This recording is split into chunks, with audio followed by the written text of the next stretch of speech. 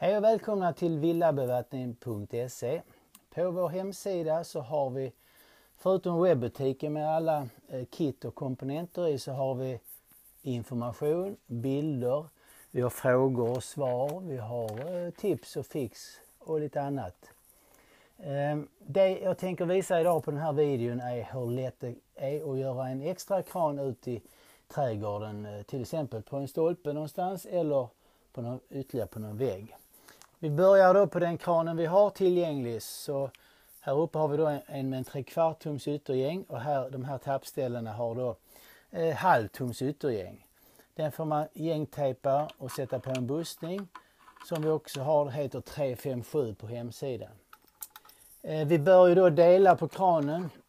Då finns det både två och tredelare.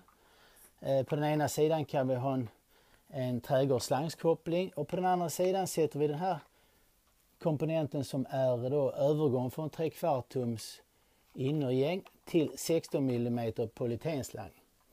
Polytenslang köper ni på närmsta byggvaruhus, 16 mm ytterdiameter. Eh, den för man in i kopplingen och där ska man passera en O-ring så att det tätar. Man spänner så att den har draghållfasthet i, i slangen.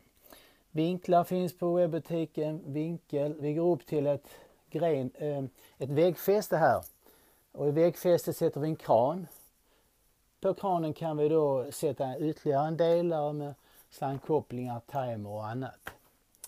Eh, vi har svarta klammer om det skulle behövas. Och lite annat runt omkring det här. Så här enkelt eh, fixar man en, en extra kran. Till hösten, till vintern plockar vi in de här delarna som kan riskera att frysa. Okej, okay, allt för nu. Har ni frågor så skriv ett mejl. Men som sagt, det mesta finns på vår hemsida villabevattning.se. Tack och hej!